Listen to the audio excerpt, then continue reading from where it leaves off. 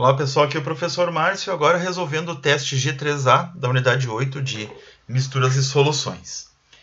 Uh, nesse teste, então, é perguntado qual é o volume de uma solução 1,25 vezes 10 na menos 3 mol por litro de glicose, que contém 1,44 vezes 10 na menos 6 mol de moléculas de glicose.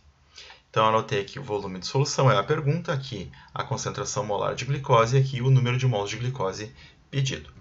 Para isso, eu vou ter que lembrar que a concentração molar é dada por número de mols por volume de solução, e eu vou usar o dado de que a concentração molar é 1,25 vezes 10 a menos 3 mol por litro.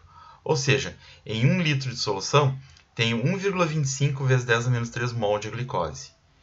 Em que volume de solução eu terei 1,44 vezes 10 a menos 6 mol de glicose. Resolvendo a regra de 3, eu descubro que o volume de solução que contém esta quantidade de mol de glicose é 1,152 vezes 10 a menos 3 litro. O expoente 10 na menos 3 equivale ao prefixo mili. Então, nós temos em 1,152 mililitro de solução 1,44 vezes 10 a menos 6 mol de glicose.